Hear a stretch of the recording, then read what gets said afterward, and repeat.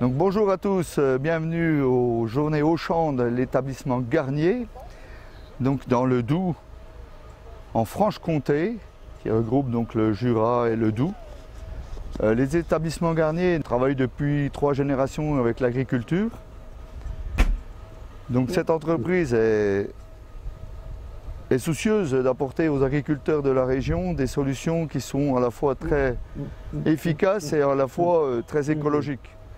On est aujourd'hui dans une région euh, qui est pratiquement une petite Gaule de France puisqu'elle permet avec euh, son label euh, AOC du comté, qui est une des plus grandes appellations de France avec 60 000 tonnes de comté par an et qui est basée essentiellement sur la sagesse des agriculteurs pour travailler avec la nature. Donc pour ça, bien sûr, ils ont un cahier des charges très important.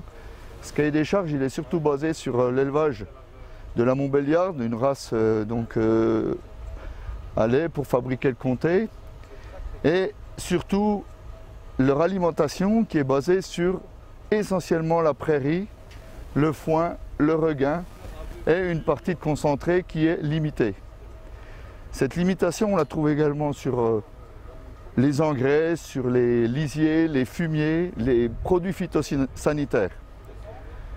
Donc, euh, ce qui nous a trouvé intéressant dans la démarche du combiné Guttler, c'était de pouvoir apporter une solution naturelle à une problématique que les agriculteurs ont tous aujourd'hui.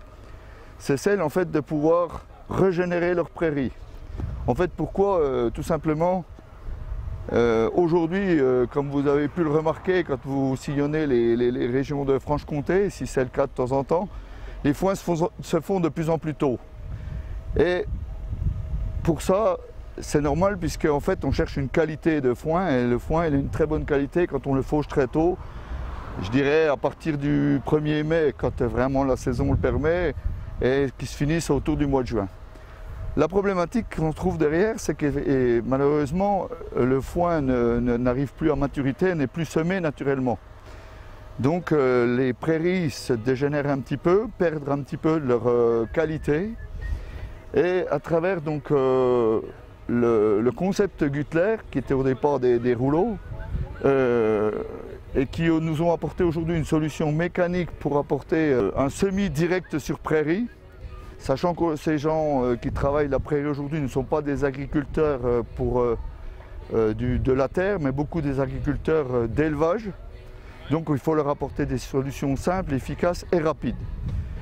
Et de plus, nous avons une région où il y a beaucoup de cailloux.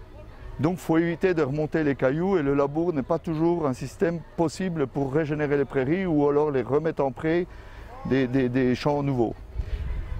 Et nous a donné une solution efficace et, mécanique. La nature, euh, c'est- le vent qui souffle donc les graines et qui vont euh, semer euh, dans les prairies. C'est les, moutons ou les vaches qui vont piétiner les graines et qui vont les faire repousser. Et là, à travers le matériel Guttler, automatiquement, on a un grattage des sols.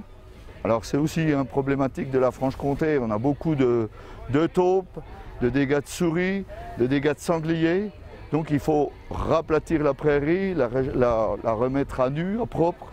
Donc avec la lame niveleuse, on arrive à, et les, dents, on arrive à couper ces galeries et à re- remettre une prairie en surface euh, plane. Ensuite, on a cet axe étrille de 12 mm qui va nous faire une, euh, terre vaine. On est toujours en naturel. On a un semoir qui va apporter des graines sous forme de pulsions sur des, sur des assiettes et qui vont faire comme le vent. Et ensuite, on a ce rouleau, le rouleau Guttler, donc, qui va piétiner comme le piétinement du mouton, qui va écraser ses graines dans, le, dans, le, dans les prairies. Donc c'est une solution naturelle qui correspond exactement à ce que les agriculteurs attendent aujourd'hui,